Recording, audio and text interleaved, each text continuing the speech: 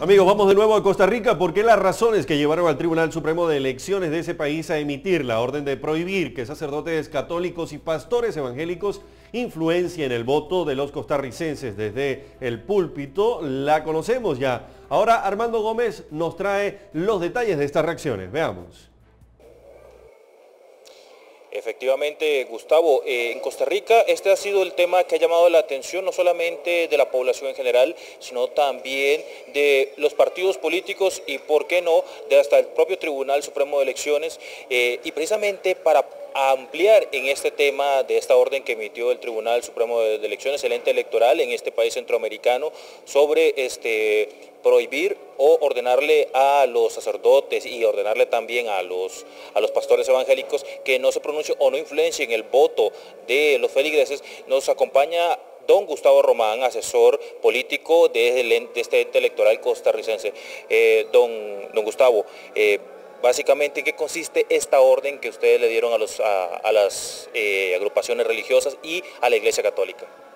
Es una orden que adopta el Tribunal Supremo de Elecciones en el marco de un recurso de amparo presentado el lunes 22 eh, de enero y en la cual a la hora de admitir el recurso de amparo para estudio se adopta la medida cautelar de ordenarle a las dos organizaciones, a la Conferencia Episcopal y a la Alianza Evangélica, que se abstengan de eh, emitir manifiestos públicos en los que haya llamados que recurran a razones religiosas o a símbolos religiosos, eh, indicándole a sus feligresías eh, el voto en favor o el voto en contra de candidatos según las posiciones coincidentes que tengan con las de esas organizaciones religiosas.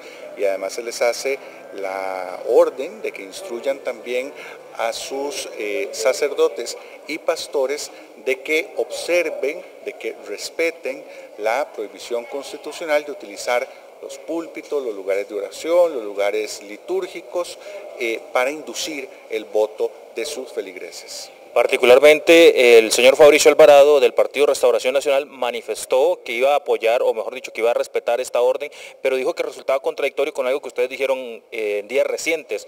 Eh, para ver si aclaramos un poco también por la duda que dejó este comentario del señor Alvarado. No hay contradicción, vamos a ver, eh, efectivamente esta es una orden de un juez, no es un llamado ni es una recomendación, es una orden de un juez y todos los ciudadanos deben acatarla. Esto no significa la desaparición de la libertad de expresión para ninguna persona, ni siquiera para los pastores o para los curas. Todas las personas son libres de manifestar por quién van a votar e incluso de recomendarle a otros por quién deberían votar. Lo que no pueden hacer es hacerlo invocando motivos religiosos o valiéndose de las creencias religiosas del pueblo. No pueden hacerlo entonces en un púlpito, no pueden hacerlo en medio de una misa, en medio de un culto, en medio de una actividad religiosa. ¿Por qué? Porque se estarían valiendo de las creencias religiosas y de su investidura de autoridad. Eh, don Gustavo, también hay otro tema muy interesante y son los delitos relacionados con, infringir esta, esta normativa eh, que ustedes se le, hicieron hacer valer o se le hicieron este, hacer saber a los partidos políticos. Eh, hasta, hasta este momento, ¿qué, ¿cuántos delitos se, han, este, o denuncias, mejor dicho, se han reportado relacionadas con este tema? Son denuncias por falta electoral y la sanción que tienen es una multa. Hasta el corte del día de ayer teníamos 163 denuncias de esta naturaleza y para la final imposición de una multa es necesario, porque así lo dispone la ley, la realización de un procedimiento sancionatorio que tiene espacio para el derecho a la defensa, tiene espacio para aportar pruebas de descargo y tiene además la posibilidad de recurrir a una segunda instancia para que revise lo resuelto en la primera. Por eso hemos dicho que de ninguna manera la resolución de estos casos va a ser previa a la finalización de este proceso electoral. Muchas gracias, don Gustavo Román. Él es asesor político del Tribunal Supremo de Elecciones, que nos aclaró un poco más en qué consiste esta orden que dio este ente electoral en este país centroamericano y que de alguna manera ha generado ciertas reacciones, no solamente de los partidos políticos, sino también de la gente, y precisamente eso es lo que vemos a continuación. Eh, yo diría que lo más recomendable es que los que seguimos a Dios por medio de la creencia en Jesucristo, debemos seguir sobre el camino y el ejemplo de él. Y ahí, ahí que cualquiera decía por quién votar, pero que sea su propio pensamiento, que no tenga que ser influenciado por, por un sacerdote o por un pastor que en estos momentos conocemos de, muchos que están pensando y en candidaturas a, cualquier puesto en la política. Como seres humanos todos tenemos derecho, ¿verdad? Yo, yo digo que si ellos están en, en la decisión de ellos de querer decir voten por tal persona, voten, es como elegir votos para alguien que ellos crean que es mejor que otro, ¿no? ¿Está de acuerdo que lo hagan en, la iglesia, en la, misa?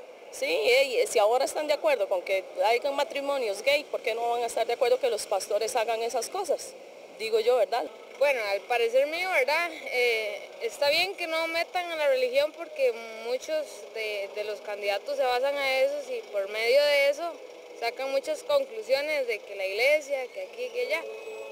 Pero en fin, uno siempre tiene que estar de la mano de Dios para, para poder sobrellevar todas las cosas. Como le digo, desde que yo me acuerdo, cuando llevé formación ciudadana en el colegio y después en la universidad, la, la prohibición era muy clara para sacerdotes, porque es más, volvemos al punto sobre la participación de los mismos en la política, que no lo pueden hacer. Ahora pienso que trataron el tribunal de ampliarlo un poco más, por, le repito, por la coyuntura que estamos viviendo, porque nunca fue muy claro. Hablaba de ministros de la iglesia, en aquel tiempo pues se habla de los sacerdotes católicos, ahora ya se amplió un poco más.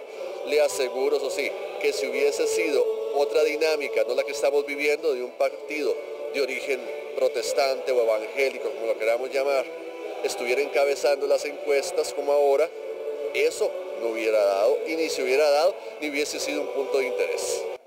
Efectivamente, ya vimos las opiniones de la gente bastante variadas, algunos a favor, otros en contra. Recordemos que este 4 de febrero más de 3 millones de costarricenses están llamados a ir a las urnas y por lo menos en 42 países los costarricenses tendrán la opción de ejercer el voto en el extranjero. Gustavo, vuelvo con usted al estudio principal. Gracias a nuestro compañero Armando Gómez desde San José de Costa Rica por esta información previo a lo que será también eh, el operativo que tenemos, un operativo especial para llevarles a ustedes todos los detalles de este proceso de las elecciones a presidentes y también eh, diputados el próximo 4 de febrero en Costa Rica. Con esta información vamos a una pausa y en breve volvemos con más.